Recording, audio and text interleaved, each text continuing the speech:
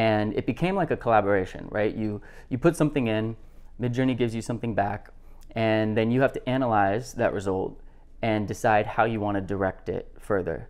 That's why I don't like the term prompt engineer. I think it's kind of dumb, uh, especially for like Midjourney type stuff. Really, you're just a creative director.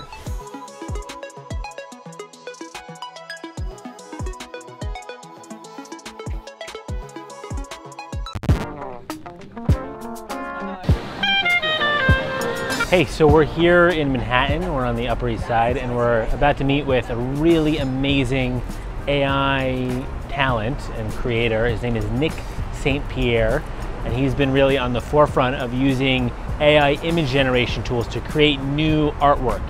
He's been pushing the boundaries of what's possible, and I think he'll be really interesting to learn from and to get some inspiration from. So let's head in. Hey, What's happening, man? nice to meet you. I'm Nice Joe. to meet you, too. Nick. Nick. Thanks for having us. Move my- okay. Stuff. I've always wanted to open up a restaurant hmm. slash bar, and I was like, I'm gonna go to New York, and I'm just gonna like jump in. So that's what I did. I was I was actually I picked up another tech job like a couple months in because I was like, gotta pay the rent, you know.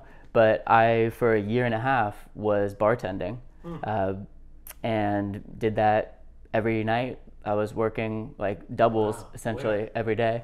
A couple different places. That was this place JoJo, which is like a Jean Georges restaurant. Uh, and then I went and I was at this rooftop spot in Times Square. It was better money and it was like faster pace. Uh, we were doing like 300, 400 covers a night, so I was able to get like more into the flow.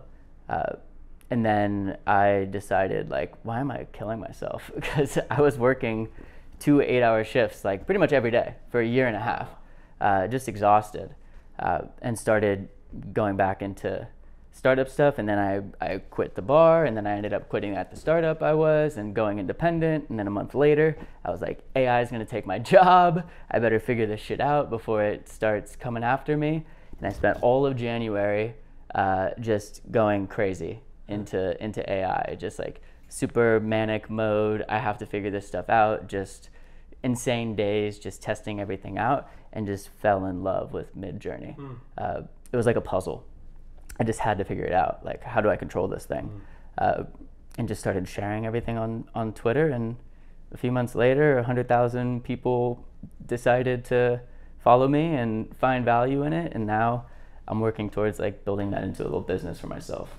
Hell yeah. No, I mean, I follow you. It's amazing um, to see what you're doing with it. I mean, I I started following you to just learn how to get Midjourney to do interesting things, and I'm sure like that's what your 100,000 followers are are doing because this stuff is such a black box, right? Like you literally type into a text field and it returns like a magical image, and that text field is so open ended. So, like, how did you come to learn how to use it? Just through like trial and error. And there there are certain things that work right? It's the way i st- started approaching it is like how would i write really good alt text for this image right? How would i describe it to a person? And like building off of that foundation thinking about what are the categories of these like terms that i'm using. If i'm mentioning lighting we can call that a category right? If i'm mentioning a camera angle that could be a category or film stock or a medium or a subject et cetera et cetera and each of these things became sort of something to test and it became like a collaboration right you you put something in midjourney gives you something back and then you have to analyze that result and decide how you want to direct it further that's why I don't like the term prompt engineer. I think it's kind of dumb, uh, especially for like Midjourney type stuff. Really, you're just a creative director, right? You are working with the AI, uh, analyzing the results, and then directing it further using the tools and techniques that are available to you uh, and the features that are available to you to tweak the image. And I just sort of built a framework for myself that I called it additive prompting. And I called it that because I was literally adding like a token at a time building my image and building my prompt uh, as a means of just better collaborating. If I just started with like a hundred different tokens, or uh, maybe that's extreme, but if I started even with like 10 or 15 different tokens in there that are talking about all these different things, and I get a result back, I have no idea what's doing what. But if I go one at a time and we build it up, I can see that journey and I know exactly what my change did and how I can move it in the direction. So that's this whole idea behind additive prompting, Right. right? You're isolating the variables, and then you're using trial and error to figure out what's how it's responding to those things. Exactly. You're you're testing and you're building up from a a simple base that is just like what is your core idea, right? My core idea could be like uh, a man sitting on the couch, right? And you start there and you see what Midjourney gives back to you. And it's important to start there because you need to understand that your idea that you're after, your core thing, is being interpreted properly. And then from there, I can say, okay, well, I want it to be a close up shot of this man, and I want him to be in a New York apartment. Uh, in front of a window on a cloudy day or an overcast day, you know, uh, I could put like modern lamp or gray upholstery, and I could start adding these things one by one, seeing how they're getting interpreted until I'm happy with the composition and I feel like it's listening to all the elements. And then at that point, it's like, okay, now I have this prompt. It's giving me pretty much what I want. Then it just becomes curatorial.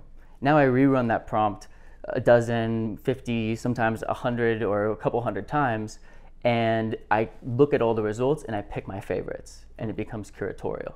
Because even with the same prompt, you have all these different seeds that contribute to the randomness. Uh, so I could run that prompt, you know, billions of times, and I will get different results. So the curatorial process is also very important. My whole approach to like creativity with technology, and granted, this has been like my area of focus way before AI. Like I had a VR company and I went around the world and did a VR film festival. Hmm. I've been fascinated by tools that let you author ideas at the speed of thought. And Midjourney and like text to image based stuff was like the closest that I've ever felt to that authoring at the speed of thought. Um, You know, it's interesting though because I've I've used Midjourney a bunch. I'm I would say super amateur, and for me, like I would really benefit from some UI guidance. Like I was trying to make, I, I'm fascinated by this idea of removing cars from New York City. Like I've I've lived in New York most of my life, and I think that uh, you know we shouldn't have cars in most of New York. Um, so I was trying to get Midjourney to like paint a picture of like a postcard in New York yeah. which was surprisingly hard to do. Like Yeah.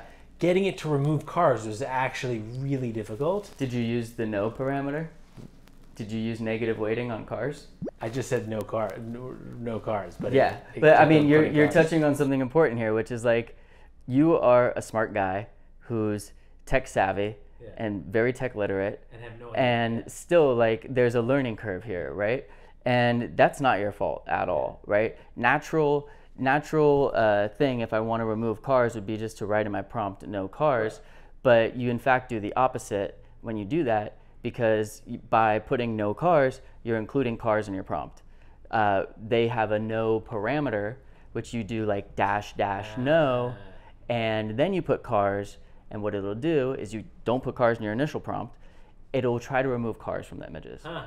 And the fact that it's difficult to understand these things and that knowledge is not readily available uh, is an issue because eventually you're working on this thing and you're trying it like a hundred times and you're like, why the fuck am I not getting cars removed, right? Uh, and then you're like, I give up. And then you're like, Midjourney sucks. Like it doesn't listen to me, uh, and that's that's a problem, you know. So, are you using other editing tools once you get an output from Midjourney? Not often. Like I, every image that I post on Twitter, I do not bring into Lightroom or Photoshop or anything. And is that just because you want to push the boundaries of what Midjourney can do? Yeah. I, well, I, I also share all my prompts, right? So people can copy paste my prompts into Midjourney. Sometimes I put the seed in there, and if I do, they can literally copy paste that prompt with the seed and run it and get the exact same image that I got. Um, but even without the seed, like I want what I'm sharing with people, if they decide to copy and use it, I want them to see that they're getting a similar result. If I were to edit all of my photos afterwards and then they put it in there, it's like, oh, it's kind of like fabricated, you know?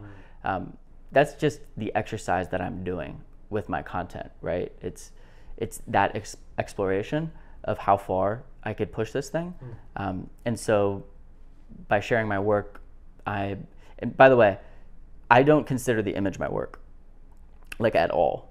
Um, like Midjourney did that, not me, right? The work I put in is in the prompt and in the creative direction. That is the job that I'm doing. So with me, with everything that I share, it's like what you're seeing is what you will get. Here is the prompt, here is the image. Go try it for yourself and make it your own. Remix it, you know, edit it, uh, change a variable, uh, change the subject. But you now have a structure to work with. But it's your story, it's your unique creative perspective that's going to drive the image into something different. Um, I'm just giving you a starting point, you know? Have you been sharing your prompts from the beginning? Yeah. And that's just your natural, like, it was obvious to you that you should share. Yeah, I didn't understand why people didn't. Huh. It just like felt weird to me. Cause, you- and you think because the prompt is the thing you're doing, That's my work. that's your work. Yeah, the process that is my work, right? Like the decisions that I'm making along the way uh, is what is contributing to that image. So if I don't show you my prompt, then uh, you're just seeing like a cool image that's generated by AI, like sweet, but like says nothing about what I did.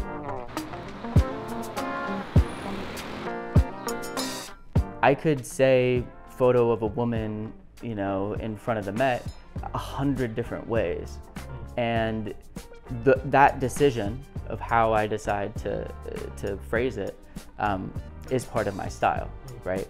And I'll do prompts where I try to like include a narrative in there, where it's like as you're reading it, it's kind of like the script to the image, and is it necessary? No. Like, does adding all of that additional language actually do anything to the image? Sometimes no, sometimes a little bit.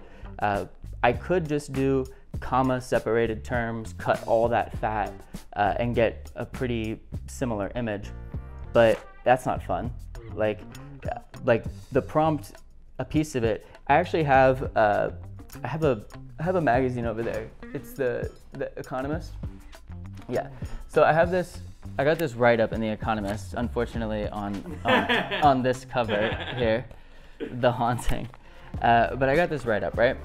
Um, so they put they put the image. So this is this is the image I generated. But what I was super stoked on is they also included the prompt. Um, they didn't include the full prompt, but they uh, they included the prompt. And what's cool about this image is like I really liked the prompt that I wrote.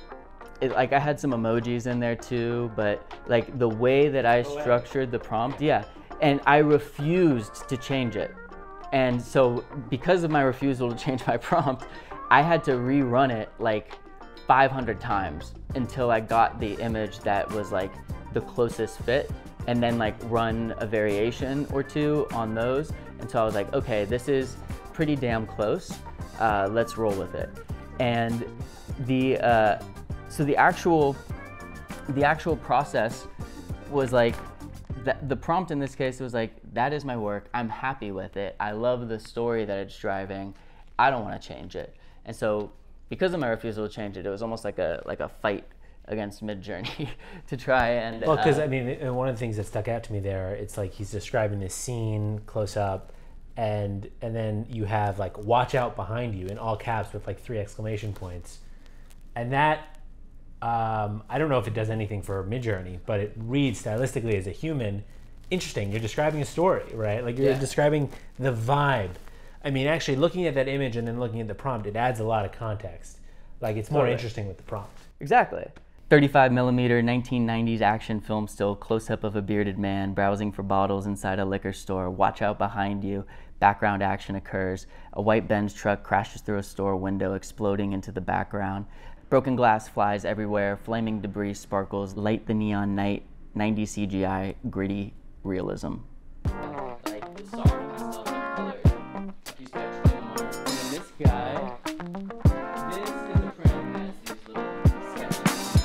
I think about prompting like very abstractly. I've started to think about it very abstractly. And when I think about like my art, like as an artist, what am I doing?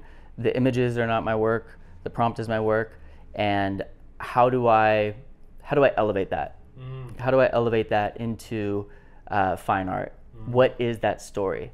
What does prompting mean? What is a prompt? Mm. Uh, is it just text input into a chat box, or is it more than that? Can it be our physical movements? Could it be our you know you know deepest fears? Could it be the the speed at which we uh, you know select or grab objects? Could it be the the conversation that we have on a telephone? Like all these things could be prompts, right?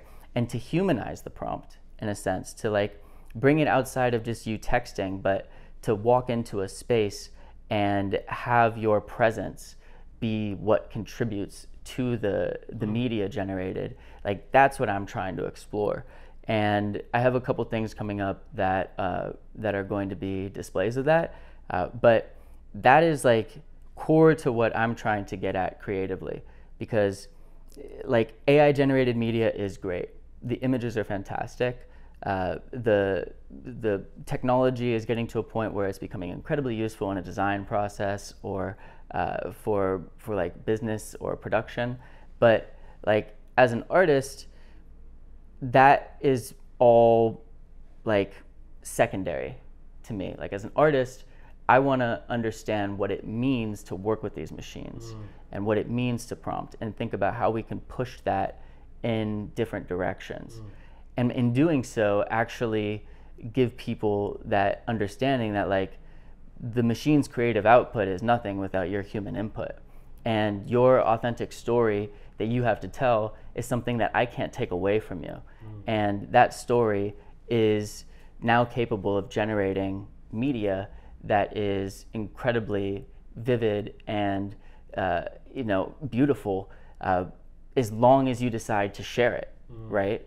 Um, and authenticity will always reign supreme in, in that mm-hmm. case, right? Like nobody can take away uh, your own authentic mm-hmm. story. Um, so yeah, like that's prompting to me is much bigger than just text in a in a chat box. It's like pretty much what it means to be a human interacting with a mm-hmm. machine, and that's much broader. That's cool. I mean, it reads like poetry, which is cool. Are you familiar with Solowit? LeWitt? Uh, yeah, yeah. Yeah, so, so his kind of instruction art pieces. Yeah, or like uh, Yoko Ono's instruction yeah. art pieces. Uh, uh, very much draw inspiration from stuff like that. Also, uh, you know, people like Duchamp and Man Ray, like uh, that's more in line with where I see the stuff that I'm doing. Like I'm trying to be more conceptual with the work that's going to be displayed, um, and yeah, there's a lot of inspiration to draw from from those guys. So like, what's your ambition with this stuff? Where do you where do you want to go? I mean, me personally, yeah. I enjoy educating and sharing my my process. Um, I'm going to continue to do that. And then beyond that, I'm signed to an agency, Original Creative Agency, starting to work on projects there too. And that's going to be really exciting because it's an opportunity to actually use this technology in a creative way that is going to be seen by millions of people um, uh, like across the world, right? And actually have an impact on culture. So that's that's sort of like the next big thing for me. Right now, I feel like I'm still in this bubble where I'm teaching people interested in AI about AI, but I want to impact culture. I want the work to just be beautiful and stand alone. Yeah, it sounds like you want to um, push the boundaries of fine art and, and really be a fine artist in that way and sort of elevate this field to that level, um, which is very cool. I want to start a conversation. Like showing a pretty image that was generated by AI does nothing to stimulate a conversation. It's like a cheap shot.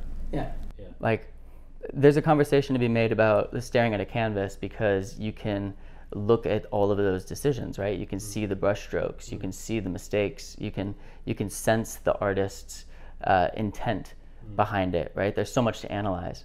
Um, you can't do that in like a ai generated image really if you're just staring at it. Let's think about what actually is the art what is the creative process by the human in this case. And it's not the image that's generated. It's the prompt. It's the it's the prompt and the intent behind it um, that is actually what is the work that's being done by the human in this case. How do you think about? I mean, if you look at the art world, even though there's incredible conceptual artists and like people who really push the boundaries, a lot of it is driven by the market. Yeah. And it's not a coincidence that most works in the highest end galleries are paintings and things that are on walls. They're Yeah. very easily saleable. How do you think about that for yourself? Like, if you're making a work that's like a poem, where does the market come into play? Right? I think the reason why people say, "Oh, the image is the work," is because it's easy to sell an image, or relatively easy. How do you think about that? there's so many ways that you could you could think about it. Um, like it could be an interactive installation. It could still be a canvas on a wall. It could be a sculpture. It could still be any form of media. Um, so uh, like it's very open ended.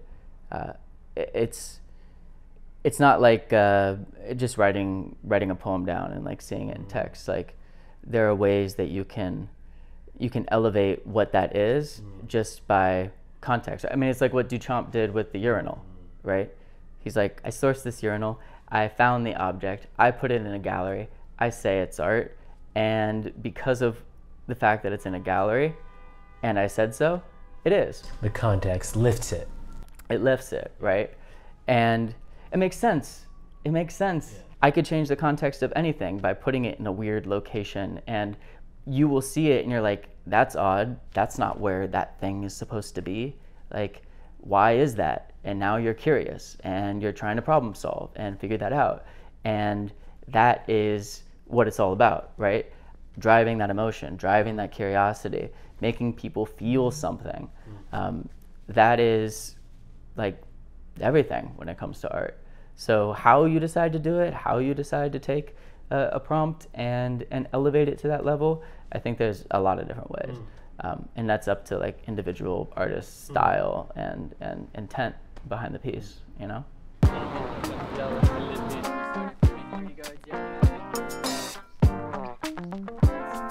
So yeah, I mean, like, how do you think about? I feel like a lot of the discussion around this stuff, um, you know, people are worried about their jobs and like AI replacing humans. How do you think about that?